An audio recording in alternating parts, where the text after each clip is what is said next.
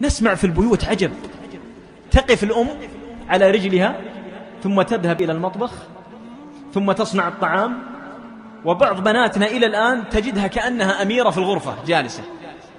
وتنتظر أن تأتي أمها بالطعام حتى تقول يا فلانة تعالي إلى الغداء يا فلانة تعالي إلى العشاء. تنتهي من الوجبة ثم ينتظرون الأم أن يحمل هذا الطعام وتذهب به إلى المطبخ مرة أخرى. والله إنه عقوق من أدرك والديه ولم يدخلاه الجنة أبعده الله فكان في النار. قل آمين. قال صلى الله عليه وسلم آمين. والحديث في المسند. إذا كم قصرنا في جانب البر بالوالدين؟ اعلم يا من تعق والديك. أنت مهدد بدعاء النبي صلى الله عليه وسلم. تريد أن تكفر الذنوب اليوم؟ يقول الإمام أحمد رحمه الله بر الوالدين كفارة للكبائر.